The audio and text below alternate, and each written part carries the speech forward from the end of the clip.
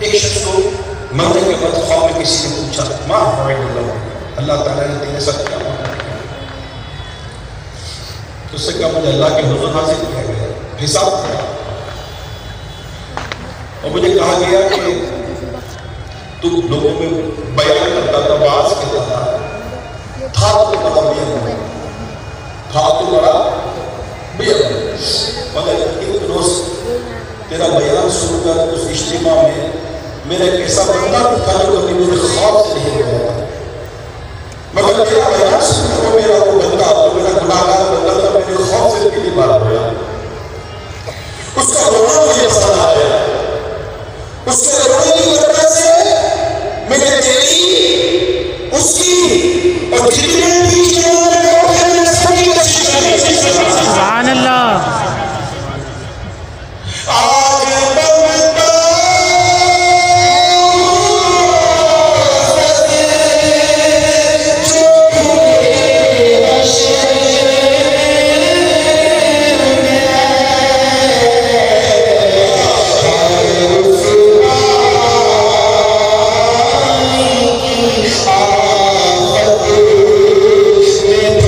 Jesus.